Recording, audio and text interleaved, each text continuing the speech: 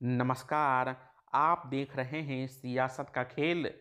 Samajwadi party के राष्ट्रीय अध्यक्ष एवं यूपी के पूर्व मुख्यमंत्री अखिलेश यादव के साथ कल गुरुवार को पत्रकार और उनके सुरक्षा कर्मियों के बीच बड़ा हंगामा हो गया। आपको बता दें कि प्रेस वार्ता खत्म होने के बाद मुख्यमंत्री अखिलेश यादव के सुरक्षाकर्मी और पत्रकारों के बीच काफ़ी तू भी हुई, जिसमें धक्का मुक्की भी हुआ। इस विवाद में आपको बता दें कि पत्रकार घायल भी हो गए।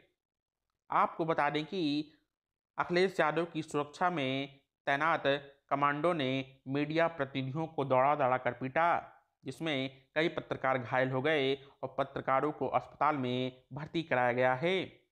गुरुवार को सपा मुखिया अखिलेश यादव की पकवाड़ा के एक होटल में प्रेस वार्ता रखी गई थी।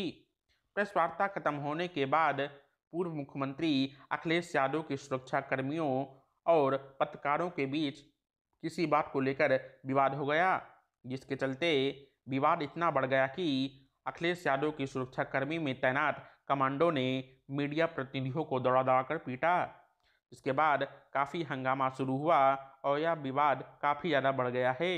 इस विवाद में कई पत्रकार घायल भी हुए, जिन्हें अस्पताल में भर्ती कराया गया।